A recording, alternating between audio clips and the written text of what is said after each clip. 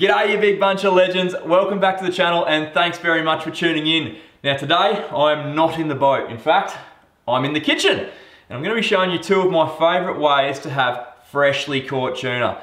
Now, if you've seen any of my previous videos, you'd know that recently I went out off the Gold Coast with Shauno Whale and we got connected to some really big yellowfin tuna. We kept two for a feed, which means we had plenty, and I mean plenty, of fresh tuna to get through. So these are two of my favorite ways to have it. Now, you don't just have to do this with yellowfin tuna. I'm sure you can do it with just about any tuna. I know for a fact it works great on longtails.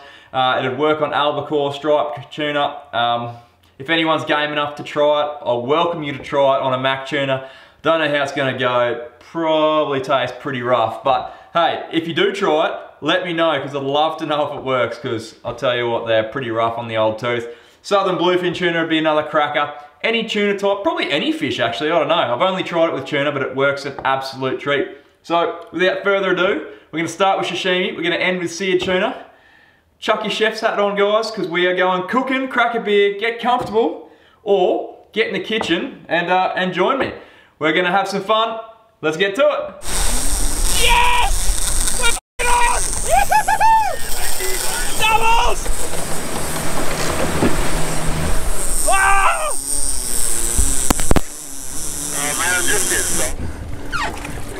Yes. Yes. Yes. You're right? Watch, watch the leg, watch the leg. That's a bigger fish than I thought. Oh, you might get a shot here, might get a shot. Get a shot. Take him. In, in, in. Yahoo! Yeah, in.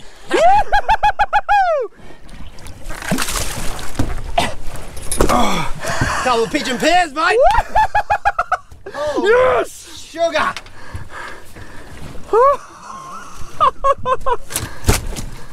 Oh, yes! Seen yellow. Look at that! Oh, fuck. Ah. nice to have a guess, mate. Mine's about 300 grams heavy. Yeah, bro! How good's that? Me! Oh my god! Oh, far out. Look at that. You wouldn't be happy if you just got that for the day. You'd be absolutely stoked. Have a go at it. Look Beautiful. at that. Absolutely beautiful. Yellowfin tuna meat Trim these in up. the shops is ridiculously expensive and we've got plenty of it. Yes. Plenty of it. And I'm, it's a, it's a team effort. I'm trying to knock slabs off this one. This is the first fish here. And um, Shauno's trimming them up and put them in bags. Okie dokie, let's get started. Now, probably the hardest part of these two recipes is probably catching the tuna in the first place. Let's face it, they're hard to catch at the best of times. Um, so once you've got that out of the way, one thing I can't stress enough is looking after your tuna mate. If you look after it correctly, it will really shine on the plate. So it's one thing I always recommend doing is really take the time to look after it. Now for mine, I like to keep mine in the fridge after, after it's been filleted obviously. Keep it in the fridge in a Tupperware container. Now before I put it in the fridge, make sure I pat down the fillets with a paper towel, get any excess moisture off, and then I rest it in the Tupperware container on a piece of paper towel. Now that might need changing the first couple of days, um, you know, once or twice a day to get rid of all that extra moisture. But doing that will keep that fillet fresh and it won't start smelling. It'll last for a lot longer. Trust me on that one. It's a really good tip to follow. So this is what I'm working with today. Have a go at that for a big old slab of tuna. What an absolute beastly piece. Now, if you were going to slab that into steaks, it's probably too big to eat. So what I'm going to do is dress this fillet up um, so I can have a sashimi section and then some steak section for the searing. Rightio. Now, oh, I've got to wash my hands first. Righto guys, before I cut this tuna up, I did just want to say that I'm by no means a chef or a sashimi master or anything of that nature. I just like eating fish, so I cut it up the way I see would best suit my needs. Uh, if I offend you by the way I cut this up, I'm deeply sorry, but hey, you should try my way because I reckon it works pretty good. What I do have though is this dope sashimi sword. This is a 10 inch Aishen knife. It is custom made for sashimi. It is super, super sharp. It's got a bevel on one edge so you can cut nice and straight. I recommend getting one. They at least make you look like you know what you're doing. I don't, but I can cut my tuna really damn cool with this. But what I'm gonna do is I'm gonna actually kind of sort of fillet this chunk. So I'm gonna take the bottom, it's about, actually you should be able to see on this little camera here, you can see this line there? if you have that in the steak, it kind of breaks up your steak. So what I'm going to do is I'm going to put my knife there and I'm going to run the knife along parallel to the ground at that level there. And it should come out down the back here and I'll have the top section which I'll sear and the bottom section which will be my, which will be my sashimi slab. So knife in. These sashimi swords they're nice and long and they are super sharp. Oh look at that glide through oh, my cutting board's moving booyah so I've got my slab there that's going to be for steaks and I'm going to put that back in my Tupperware container I'm going to put that back in the fridge while we're doing the sashimi. Now what I'm left with is this beautiful slab of tuna here. That's the thickness. It's about maybe a touch over an inch thick. And from there, I can just do little slices like this. Hang on, I'll try and keep this camera straight for you. Little slices like that. Look at that. And that is prime sashimi. It's about two mil thick and all you need is about 10 or so of them and you're ready for sashimi. But that nice block there, you put that back in the fridge and just attack it for the next few days. But yeah, just cut little slabs off and you're ready to rock and roll. Now they reckon the sashimi swords are so long because you can cut the tuna in one stroke. You're not sawing at it. You definitely can. Um, and being super sharp also helps. But I think that really helps keep the flesh intact and you don't tear it, doesn't come to pieces, doesn't pull it apart. So um, yeah, well, actually I really enjoy using this thing. It's, it looks cool, but it really does work. All right, that's enough sashimi for me. I'm flying solo today, so I only need a little bit because I'm gonna have some seared tuna for lunch after. But let's get started on our sauce. Righto, so the rest of that tuna is back in the fridge. You want to keep it really cold at all times. You don't want to let it heat up, then cool down, heat up, then cool down. It's bad for it. It won't last as long. Um, as soon as you're done with it back in the fridge, keep it cool at all times. Now let's work on our sauce. Well, I don't even know if this is actually a sauce or not. It's like a dipping sauce. Um, yeah, I don't know the correct term for it. But grab yourself a lemon, lop it in half, squeeze it into a little bowl now, remember these are all these are all roundabout measurements. They're not exact. You kind of do it to taste. Doesn't have to be spot on because there is no exact recipe. That's how much juice I've got in there. You could probably do with a little bit more.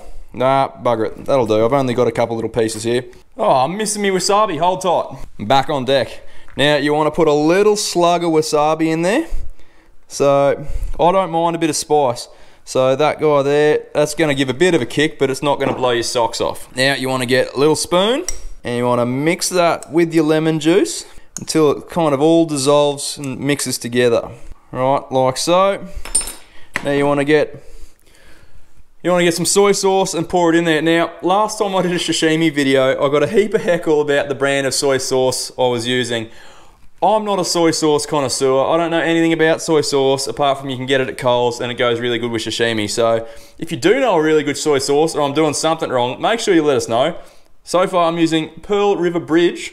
It says soy sauce on it, so I assume it's the right stuff. Uh, but yeah, if you guys know anything better or know something I don't, feel free to let me know in the comments because uh, yeah, who would have thought soy sauce isn't soy sauce? But chuck a bit in, probably about double the mixture you got there. You'll see it goes to a, uh, from a black to a brown liquid. Now let's give it a stir. Mix it all together. Taste test. You'll know when you get it right. It's like a cross between a bit of sweetness and sourness from the lemon, saltiness from the soy, and there's a bit of kick there from the wasabi. Now, that's all there is to it. That's it. That's literally it. There's two ways you can um, you can have your sashimi. You can just straight up dip it, might just halve these pieces. They're a bit, bit wide. I'll just halve them real quick. So you can dip it. Oh, where you just, bit of these ones into the gob. That's pretty special. Or, because there's lemon juice in there, you can actually leave it in there for about a minute and the lemon juice reacts with the fish and kind of semi-cures it or cooks it. Um, and that's another great way to do it. Same deal.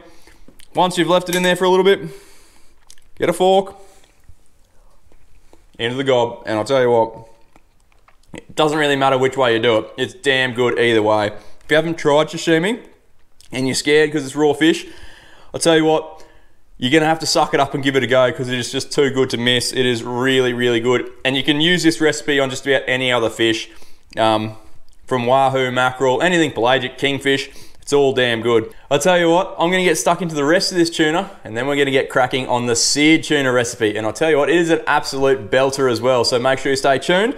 Uh, I've got some eating to do first. Hold tight.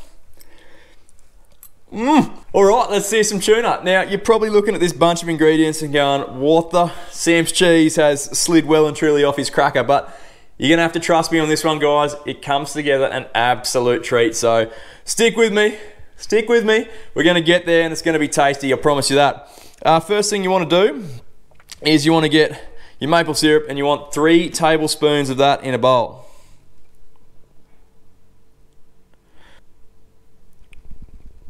Now, one and a half tablespoons of your Dijon mustard. Oh, making a mess already. That can be a half.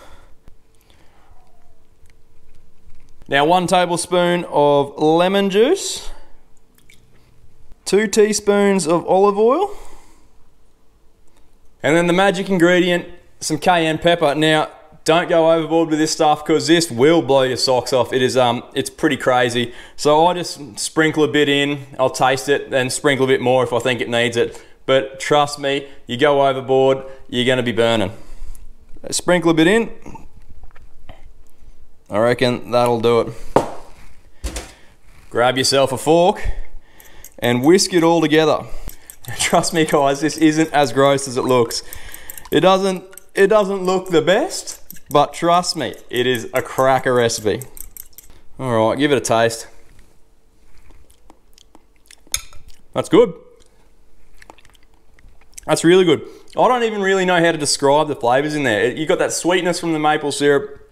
You got a bit of, you got a bit of pepperiness from the Dijon mustard, bit of kick from the cayenne, and um, bit of, bit of sweetness and bit of sourness from the um, the lemon as well. Trust me, it is really good. I really do urge you guys to give it a crack. But what you want to do is you want to spoon out a little bit. Oh, we'll just use this.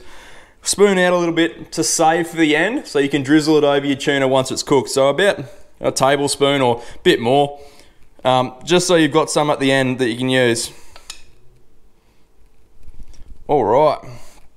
Now you can just leave that out or chuck it in the fridge, I don't know. Yeah, chuck it in the fridge, it's probably the best. Okay, now I'm gonna clean up a little bit here and then I'm gonna get our fish out and we're actually gonna marinate it in this sauce for about 10 to 15 minutes per side. You're gonna have to flip it over because it's not deep enough to fully submerge. But clean up here first and then we'll get stuck into the fish. Rightio, we're back on deck now. You wanna transfer your, your sauce into a flat bottom container so then you can place your fish in there. Now with the fish, you want steaks about an inch thick. So again, sashimi sword. One, probably just do three. It's only me. Two.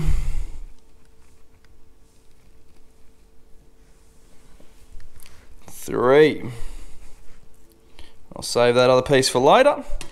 Now grab your tuna and put it one side down in the mixture. All right. Well, looks like I'm only having two. I should have used a bigger container. Hmm. That's alright. It's alright. Two will do. Two will do. I'll save these for dinner. Righto guys, now you want to leave them in the mixture for about 10 to 20 minutes, side down, and then flip them over and do the same on the other side. Obviously in the fridge, but uh, we'll come back to you in about 30 minutes. Right, got about five minutes left in the marination station, and while that's finishing off, I'm gonna preheat my pan so it's ready to rock and roll, and make sure it's super, super hot. So fire it up. Struth. By the time your uh, tuna's ready to take out the marinade or the sauce, whatever you call it, it's ready to go straight in the pan. Hot tip for you. Probably turn this thing on. Don't want to burn the house down. Righto chefs, we are back in action and we're going to kick it off with a bit of olive oil in the pan.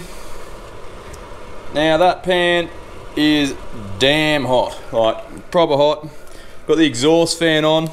Uh, hot tip for young players, get yourselves one of these or a lid for your fry pan because for some reason this recipe spits like there is nothing else and um, yeah, you'll end up coating your whole bench and your shirt and it's not pretty. Make sure that oil is everywhere. Now on the side you're going to put down first. Need a bit of S&P. Give a crack of salt. Crack of pepper. Now we're going to do the other side when it's in the pan. Alright, let's get these in. Get ready to uh, to shield yourself with this. Drip it. Let's get this second bit in there. Phew. All right. Now, you can get rid of this. This is, uh, it's done its job. Keep your S&P out. So we don't need that to give it a quick squirt on the other side. Now you want to have it on there for about 90 seconds each side. Remember, we are searing our tuna. We are not cooking it all the way through. If someone tells you to cook their piece all the way through, ask them politely to get out of your house and learn to appreciate their seafood. But 90 seconds each side, that's a rough guesstimate. For about an inch thick, that's about right. But you want that pink strip in the middle. So you gotta, you gotta stay on it. You gotta be quick. Um, you don't want to overcook it, trust me. Righto. Let's put a bit of S&P on the other side. Beautiful. Now that is 90 seconds. Oh, look at that. I've made a mess again. Whoop. Easy does it. Right, we're on the uh, home stretch. Get your plate ready. Get a clean bench. How are we looking? That is done. 90 seconds is up. One. Two. Have a go at that. Are you not impressed? Not only can I uh, wave a fishing rod around, it appears like I can cook a bit of fish as well. Now, I'll cut this one in half so you can see what I'm talking about. Just kill this. Actually, I'll get our sauce. Don't forget about the sauce you got in the fridge. You're gonna drizzle that over the top. Right, at the moment of truth, let's cut it open. Ooh. Ooh. Have a go at that. Cooked to perfection. Now, obviously, you'd serve this with salad or something else crap like that. Doesn't matter because the tuna's going to be the star of the plate anyway. Now, your sauce, you want to just drizzle that over the top.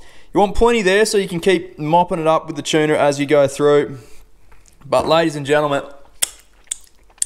that is one of my favourite ways to have freshly caught tuna that you're going to sear. Trust me, give it a try. If you're looking to score some brownie points with your significant other, this will definitely get you across the line, if you know what I mean. I'm not gonna put anything else with this because I don't have any other salad, but yeah, salad, whatever else, chuck it with it, and you've got yourself a meal fit for a king. Guys, if you've liked or learnt something today, make sure you hit that like button, subscribe, comment, all that fun stuff. Uh, I'll be back in the boat next week with another cracking adventure, so make sure you stay tuned.